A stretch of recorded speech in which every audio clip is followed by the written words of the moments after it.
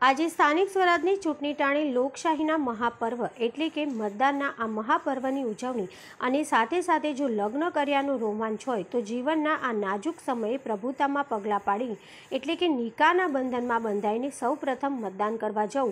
એ મતદાન કરી એ આ દેશના જાગૃત નાગરિક તરીકેની ફરજ. સાથે સાથે આ દેશના વિશ્વની સૌથી મોટી લોકશાહી હોવાનું જીવંત ઉદાહરણ આજે એક ખોજા દંપતીએ આપ્યું હતું. ગીર સોમનાથ જિલ્લાના તાલાડા તાલુકાના ચિત્રાવડ ગામે રહેતી ખોજા યુવતીએ પોતાના નિકાહ પૂર્ણ કરી પોતાના પતિ સાથે મતદાન બૂથ પહોંચી મતદાન કર્યું.